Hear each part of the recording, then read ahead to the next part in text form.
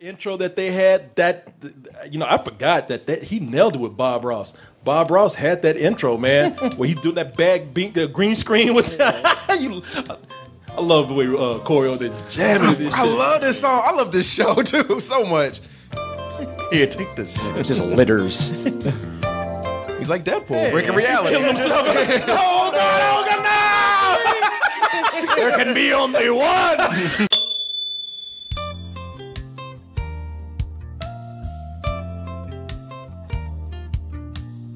Oh, let me go ahead and get into uh, an email that's going to carry us into our next uh, next segment right here, and this is from Serena Pearson. Serena, I don't ever want you to ask me this again. She says, "Hey Corey, I was just wondering if you saw the new somewhat teaser Ryan Reynolds posted on Twitter for Deadpool 2 this morning. If so, what do you think about this kind of promotional material? Showing a scene that will most likely not be in the movie, then showing a few seconds of movie clips. Do you think it works better than traditional trailers, or does it depend on the movie and our main character?" And that's from Serena Pearson. And Serena Pearson, hell yes! I think this works. That's why I don't ever want you to ask me no stupid shit like that again. Damn. No, no, hold on now. It does depend on the movie and the main character. If it's something people are already looking forward to, you can do something experimental. I'm getting it. And Serena, baby, I'm just, you know, just do theatrics. You know, I'm just doing this for the show. Hyperbolic. But, yeah, hyperbolic. Yeah, but don't you ever ask me no shit like that again. I'm, you know, because now I got to stop everything and, and give a reasons. You know, I got to now. I got to explain to you why this will work. I have six reasons why, and we can. Add I haven't more. seen it, by the way. Oh, you I- had no. I We're gonna haven't play either. it. No, because it popped up, and I was like, "I'll, I'll wait till the show." Because you know we're gonna do Yeah. it here. Mm-hmm. That's why we stopped doing Trailer Tuesday, because you never know when something's gonna drop at any time. Exactly. In Deadpool 2, the teaser, or another teaser, dropped today. And like I said, I got six reasons as to why this will work. We can add on more, and I want some input from these guys, but y'all need to see it to see what they're talking about. And yes, Martin, it is very, very different marketing that's going on for this. Let's go ahead and take a look at this, as uh, Serena says, somewhat teaser for Deadpool 2. That's the boy. Yeah! All right, let's grab our trusty two-inch brush here. Whack that off real good. Just beat it like it owes you money. This is just childish. I love it though. I love it. I love it. I love it. Holy fuck knuckles, I am high as a kite right now. Would you look at that? It seems like we have ourselves a finished painting. So from our family to yours, hugs, not drugs. This is brilliant. How can you ask me that question? This is brilliant right here. Oh, okay. It was just a gun. All right. All right. Oh, I thought you were going to say something. I know it's a freeze frame. Um, very Adult Swim. No, very Adult Swim, man, and I and, and I for one appreciate that. And listen, I don't even have to go into reasons. Everybody loves it. Martin, you love it, Sure. Of course you do. I mean, this is a this is well made, but Serena, you asked, so I'm gonna go into reasons why this works. First of all, I, I laughed at the beginning of this, and by the end of it, I was like, I feel weird. you know? no, I, I mean, because I've always felt weird from uh, from from the guy that he's doing. We're gonna talk about that in a little bit. The guy that he's portraying here, I've always felt weird about. I about love Bob that Ross. guy, man. Bob Ross. I The always felt weird about, about, about Bob Ross, man, because I used to watch this that when I was a kid and stayed home from school. Although, man, that's that's one of the funniest lines that I've ever heard. Holy fuck knuckles, I I love that. Holy fuck knuckles, man. Um, but the reason why, let me let me tell you why this is uh this this works. And let me see here. For for one, let me go ahead and bring this up right here. For one, we already know. Let me see if I can find the scene. One of the first reason right here. For one, we already know what Deadpool is going to do. We already know that Deadpool's going to have guns.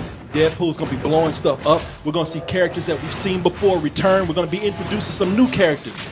That ain't nothing new to anything, to anybody. You know, that can be. That, if you're going to show something like this, you're going to tease something, this is the way to do it. Mm-hmm. Because we, with this character right here, we're not going in there for the action and for the guns and all that kind of stuff. which Those are bonuses. just- those are bonuses. We're in here. We're in here for the really for Deadpool. We're in here for the humor. Yeah, Right. It's all about the comedy. Yeah, it's all about the comedy with him. And that's exactly what they've done here, which leads to number two. It fits the character. Yep. You know what I'm saying? Yeah, that's the main reason why I think it works. Is it's totally in character and at the same time totally unexpected. Yeah, having him go in and address the audience. For anybody who knows his character, that's what they say. He he, he breaks the fourth wall. He mm-hmm. talks to the audience. What better way to do this than with the show where he actually is doing a course? Yeah, and Bob Ross feels like that guy. Like you're watching, he's just ruining this painting, and in the very end, you're like, how in the hell did he do that? Yeah, Actually, ruin a painting. Yeah. Deadpool's pretty great. yeah, and there's just clever moments in here too, like the like when he's laying down, like the the yellow snow right there, and then they get to the point right after that where they have that quick edit. And it's a whole fast Which it always felt like that. Any kind, each time you saw one of those, like how to draw, how to draw the flash. You know, you start with two ovals here and a couple lines, and then another line here, and then there's your finished drawing. Yeah, yeah. Now they, as Martin was saying earlier, you can't do this with everything, and you mm-hmm. can't do this with with everybody. But this should tell people that if you do have a unique property, whether it's humorous or what or whatever it may be, mm-hmm. play around with it, man. Sure. I mean, that's what Deadpool is. He breaks reality all the time in the books and the shows. Yeah, yeah, but I mean that goes. But it doesn't have to be comical. Let's say you have some other property where you can really go out and take advantage of the creativity with it. Do that, which is, leads to number three. People are getting tired of the same old marketing trailers. Oh, I think you know this is a day and age where we have teasers for a trailer of a teaser mm-hmm. of a Yeah. trailer, mm-hmm. and this right here. This is giving us something that has a lot of imagination besides just showing us scenes you know, showing us uh, clips from the movie. You know, this this is what gets people talking because this is something where all these other things are saying, oh, you know what, we just gonna be like drug dealers and just give you a taste. you know, Well, well, it seems like we've gotten with trailers where they come in three varieties. It's it's one that looks like every trailer we've seen for everything else. Uh, another that that drops spoilers and shows too much. Or, or the third trailer that we've been getting lately is the one that makes it look like a completely different movie than what it was, mm-hmm. and then you go see and you're like, "What the fuck was that?" yeah, no, and people are like, well, this was like a way different movie than what I'm gonna get right here. No, but that's that's. But this is something creative. But It- this is something creative, and they, and you know, it's taking a chance on you knowing that this is not going to be in the movie. It, instead, it wants you to know that we're doing this because of the character. Right. But that leads to number four. You know, we're talking about teasers and trailers and whatnot. This still works as a teaser. Uh, You don't you don't get no more teasery than this right here. Like they they literally just give you glimpses of things. They literally just go in and just give you a quick cut, uh, like a, a a twenty second montage before they pull away, and really leaving you saying, "Okay, what the fuck?" Like any of those cuts are over a second. It's like Yeah. here, here, here. Like okay, chill. Yeah, yeah. You know, I mean, I, I, this is not a full trailer. This is a teaser. This is pe- people make trailers sometimes. Our teasers, they don't even- they don't understand the meaning of the word teaser. Mm-hmm. Right. You know, they throw in half the movie, and that's a teaser. Yeah, before you get to the trailer, which is going to show you the whole movie. Exactly. you know, this right here. I mean, you got to ask yourself, like, why is he in a coffin? You know, I don't know, but I'll find mm-hmm. out in the movie. You know, let, let's go back to the painting lesson real quick. Mm-hmm. You know, because uh, that leads to number five right here. You know, we're talking about that painting lesson. This is giving you entertainment as well as selling a movie. True. Yeah. You're a marketing guy. yeah. Uh, yeah. I like the way you testify. Yeah. okay. Yeah, I mean, if it a good way to sell somebody on something is to entertain them and to make them like you. And the first Deadpool did that really well with its marketing too. But with this one, they can do things that they could have never done with the first Deadpool. Yeah. They they could have never done this with the very first one because people weren't familiar with him on the whole. There were fans who knew him and loved him, but now the general public knows who he is and they love him. Yeah, and it's it, you know because of that, it's not cheap. You know, selling you something is it sometimes can just be cheap. This is giving you a bonus. This is actually okay. You're selling me the film, but you are giving me a short film. Yeah. with that, you're Yep. giving me bonus content. You're giving me bonus entertainment right here, and I think that that is uh, not only creative, but that is something that really goes into thinking about his fans and the people that is pitching this to. And number six goes without saying. It's fucking Bob Ross. Of course. You know, I mean, come on, man. I watched that today. Yeah. Bob Ross. If y'all don't know Bob Ross, then really, you, you you're not cool.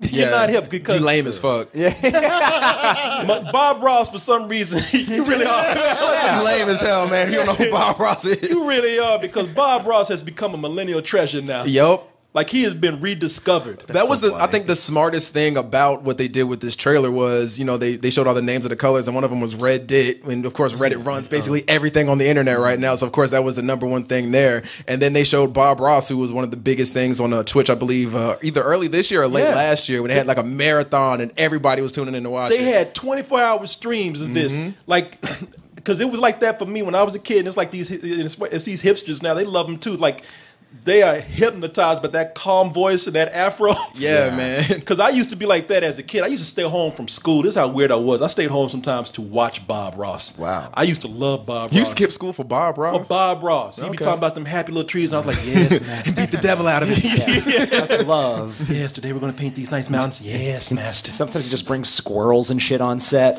yeah. and his son Yeah. and his son, yeah, he was a, he was a, a, a hypnotically weird dude, man. Yeah. And that and it was great. I it was to watch wonderful. him too, but never to the level you guys Oh, did. he's great. Man, the stuff that he would make in 30 minutes, you're like, how? Yeah. Like, he is a magician. Like, what kind of shit was he on, man? yeah. and then they're like, yeah, like his backstory, he used to be like a some guy in the In military, the like a he was in sergeant. Vietnam or something. yeah, and you're like, oh wow, he's going to be like this big angry guy. He's like, no, it's got little happy trees. Yeah. yeah. I heard he killed children and wore a ring of ears and be All right, Mr. Rogers.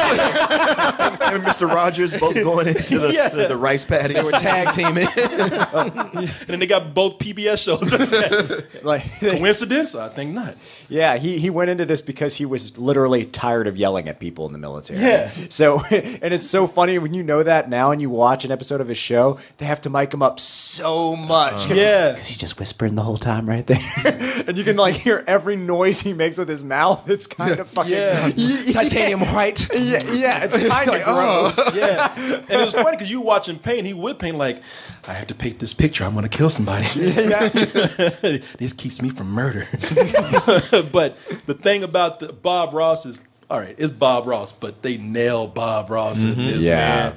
Uh, Even that song just makes you like, oh, I'm happy. I know, like like that intro that they had. That you know, I forgot that, that he nailed it with Bob Ross. Bob Ross had that intro, man, where he doing that bag beat the green screen with. you, I love the way uh, Corey is jamming this I shit. love this song. I love this show too so much. Here, take this. It just litters. He's like Deadpool, breaking reality. Killing himself. oh God! Oh God! No! there can be only one. He, re- man, he looked like he was in pain too. Yeah. Because he's shuddering. Yeah, he look like he's like, oh God, oh Jesus, not like this. Oh, ah, Mercies for the oh. weak. all of that nice ass music.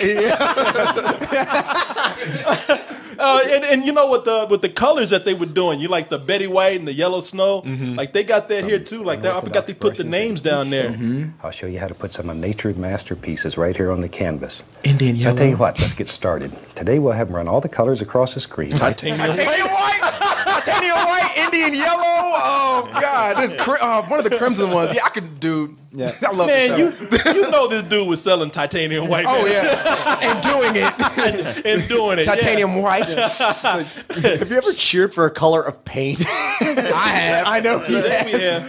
Yes. It's like, oh, please let Indian yellow pop up. Indian yellow, yes. Yeah, shit. Do titanium white and then hallucinate, hal- erasing yourself. Gonna get oh, to you. I'll get you, Ross. I'll remember this bitch. titanium white.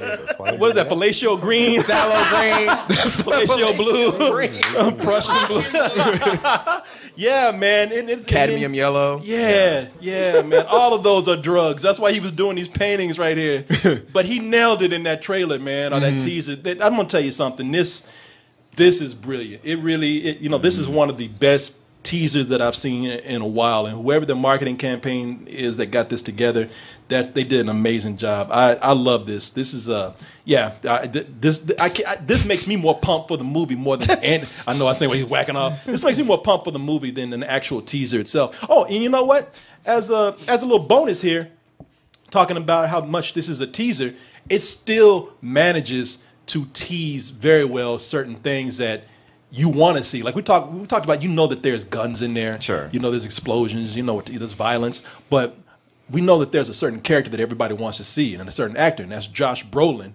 as Cable. Mm-hmm. And if you notice, even with the painting, like you don't see Cable in there, but when they finally get to the painting, like they don't even show Cable's full face as a painting. You know, they don't show you the guy moving. They don't show you him in action. They don't show you the eye. Which They don't show you the people wanna see. eye. Yeah, so you know, there's still a lot that they actually effectively keep from people, but still sort of, sort of, sort of throw out there. Yeah, So- and they, they showed um some obviously some new mutants in there. Then you saw Negasonic right. Teenage Warhead that pops back up in the original X Men uniform, like wearing the yellow and uh, black. So you're like, all right, yeah, you, you gave us some service. Oh yeah, man. Can I say something about that that that that X Man suit right there? Let me see here. That that uh that X Man suit because everybody back in the day, I remember. Where is it here? Because I remember uh talking about how. Oh, you know, it's a good thing that uh, Wolverine ain't wearing that, that that that yellow suit. It's a good thing they kept those yellow suits out because those don't work. I'm looking at uh, what's her name, Negaton, Negasonic Megaton- Teenage Megaton- Warhead. And It looks pretty cool. And it's like I, those could have worked uh, uh, back in the day. Yeah. they just didn't know how to do it back then. Yeah. Yeah, yeah, but it's nice though. It's nice. So, yeah, you know, it's uh got me very, very, very excited for the. Stop being a pervert over there, man. That girl's like 13 years old. He's like, Man, you know, yeah, you know how girl old that girl is, man. He back there. No, no, she's in her twenties. Oh, she's in her twenty. Oh, in, well. in this she not. oh, okay, okay, all right. I'm sorry. Continue jacking off then. I'm sorry. Me- Megasonic Teenage. Teenage Warhead. But the actress is of age. He's back there. He's he's hungry too. Well I'ma get her. He ain't he grunting. Boy, I hate to be your roommate when you jacking up and all.